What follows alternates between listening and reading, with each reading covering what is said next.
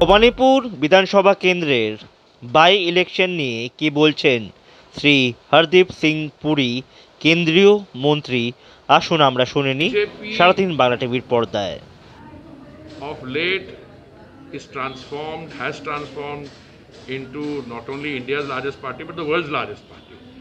तो उसमें obviously uh, has a, as the largest national party uh, and the, one of, and the world's largest political party, if I may uh, say so, it has additional responsibilities. So it does not, uh, uh, you know, uh, take any by-election. Uh, with less than full seriousness.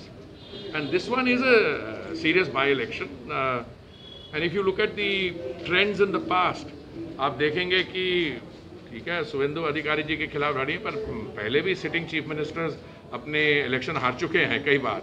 और बहुत अच्छी candidate है हमारी। She has all the right qualification और credentials professional है महिला है।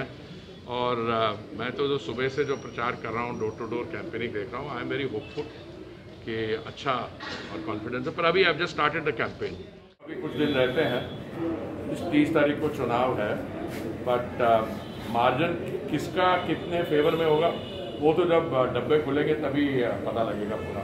हैं डॉक्टर श्यामा प्रसाद मुखर्जी जो बड़े, आप जिस तरीके से भी देखें, उनके, उनका जो जीवन है, उनकी जो कंट्रीब्यूशन है, वो एक एक बहुत ही विशेष रही है। And he is the icon of the BJP so that is what BJP's relationship with West Bengal is. Powered by Jibanpur বার্নপ্রস্থ Village Trust old age home